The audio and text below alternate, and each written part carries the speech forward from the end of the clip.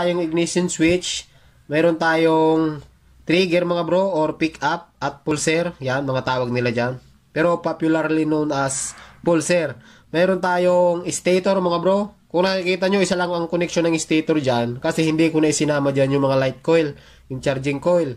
Yan. Kasi ito lang naman kailangan natin mga bro. Kasi ang pinag-uusapan natin dyan is yung CDI. Hindi ito yung buong wiring ng motor ha. Kasi nung kahapon may nag-comment paano daw mag-charge yung battery. Sa ganitong drawing mga bro, hindi nga mag-charge ang battery kasi wala ka tayong regulator. Pero hindi naman kasi yun ang pinag-uusapan natin dito kasi nagtatanong lang yung connection ng AC-CDI at DC-CDI. Ngayon, drawing ko lang itong mga ito, yung lahat ng pinagkunika ng CDI para mas magets nyo at mas maintindihan nyo. Ayan. Yan, meron tayong stator. Mayroon tayong CDI mga bro. Ang ginamit natin ay 5-pin CDI. Meron tayong 6 pins. Pare halos parehas lang naman yung mga bro. Tapos, meron tayong ignition coil at meron tayong spark plug. Ayan, paano ba ang wiring connection yan at ang wiring diagram? Umpisahan agad natin mga bro. Kung nakikita nyo yung CDI natin ay mayroon yang 5 pins. Hindi kagaya nung pinag-aralan natin nung previous videos ay mayroon lang tayong 4 pins. So ganito yan mga bro. Ang kaibahan lang nito dun sa 4 pins, meron siyang sa gitna So, ayan po ay ang kill switch. Tapos, yung ignition switch naman, kung nakikita nyo yung DC, dalawa lang, ito apat na yan. Ito yung ignition switch natin na, yung susian. Yan, paano ba ang connection yan mga bro? Umpisahan agad natin dito. Kung ito po, ito ah, ayan. Ito po ay parehas ng connection ng 4 pins, yan po ay ground. Yan po ay ground.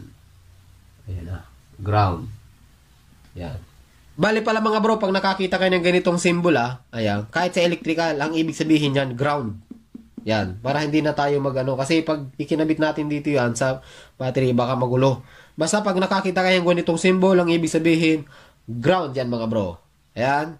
Color coding naman, yan ay kulay green. Sumunod tayo dito, ayan.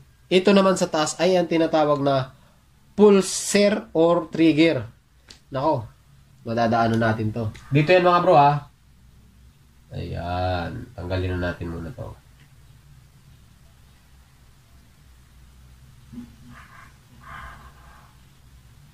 Pang.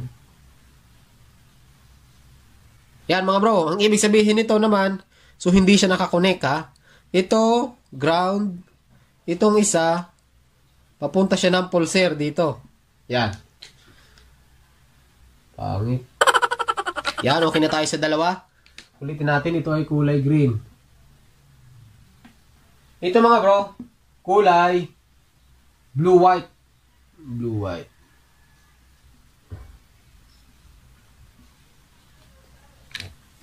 Yan, okay na tayo sa dalawa. Isunod natin ito. Ito po ay papunta ng ignition coil, mga bro. Papunta po siya ng ignition coil. Yan. Tapos, itong isa naman, kung naalala nyo yung 4 pins natin, kumuha ito sa 12 volts battery, kaya DC siya. Sa ngayon mga bro, hindi natin siya itatap sa battery. Manggagaling siya sa primary coil ng stator. Ayan. So, primary coil ng stator. Kaya, ito po ay ACCDI mga bro kasi yung supply niya is nanggagaling doon sa stator. Eh, ang stator, ang output niyan, AC. Hanggat hindi dumadaan ng uh, regulator rectifier. Tapos mga bro, kung nakikita nyo, mayroon pa tayong isang wire, yung sa gitna. So, ayan naman po ay tinatawag na kill switch mga bro. Ganito yan. Ayan, dito natin yan sa ignition switch. Yan. Yan, nakalimutan na natin yung kulay. Ito pala mga bro, ulit, kagaya nung sa 4 pins. So, ito po ay uh, black, yellow. Black, may stripe na yellow. Tapos, ito naman mga bro, ito red na may stripe na black. Minsan naman, black na may stripe na red. Parehas lang. So, red na may stripe na black. Yan ang color coding yan mga bro ha. Tapos, itong kill switch, Itong kill switch mga bro, ito ay black white. Black white. Yan. Ngayon mga bro, kung nakikita niyo yung ignition switch natin, mayroong apat na wire para saan ba yung mga yan. Una, nakabit na natin yung kill switch ha. Kill switch, ito. Pangalanan natin. So, itong wire na ito ay ang kill switch. Ayan, kill switch. Tapos mga bro, syempre meron tayong dyan manggagaling ng battery, yung supply. Ito yan. Sa positive dyan mga bro ha. Kulay red talaga yan mga bro, kulay pula talaga yan. Yan. Kulay red, supply. Tapos meron tayong, syempre hindi mawawala, meron tayong ground. Ayan. Meron tayong ground. At yung natitirang wire, meron tayong accessory wire. Itong accessory wire mga bro, maraming sinasamahan yan ha. Basta pag accessory wire mga bro, maraming sinasamahan yan. Tandaan nyo. Yan, accessory wire. Meron tayo dito, nandito nakatap yung, ayan. Ayan. Dito nakatap yung signal light. Yung horn or yung busina. Dito rin nakatap mga bro, yung sa starter ha. Yung push button, dito rin nakatap. Tapos, meron tayong tail light. Yan. Basta mga bro, maraming sinamahan yung accessory wire, yung isa. Ito mga bro ay kulay green, yung ground. Green. Yung accessory wire naman, ito po ay kulay black. Yan. Hindi na kayo malilito yan mga bro. Ayan, kaso parang magulo. Pero sana nasusundan yung mga bro.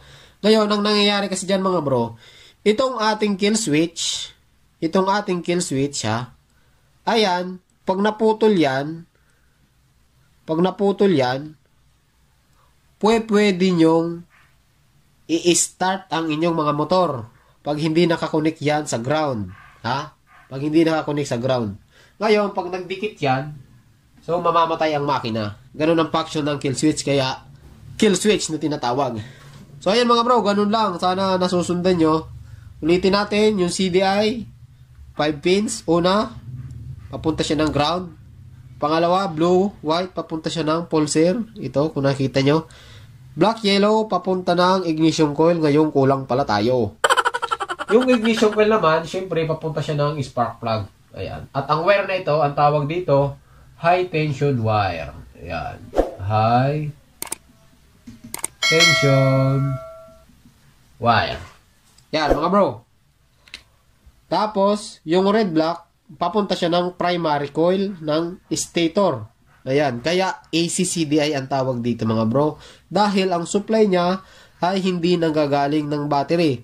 Ngayon mga bro, yung 6 pin, halos parehas lang ng 5 pins, walang pinagkaiba. Kaso nagiging dalawa lang yung ground nun at yung terminal nun ay 6.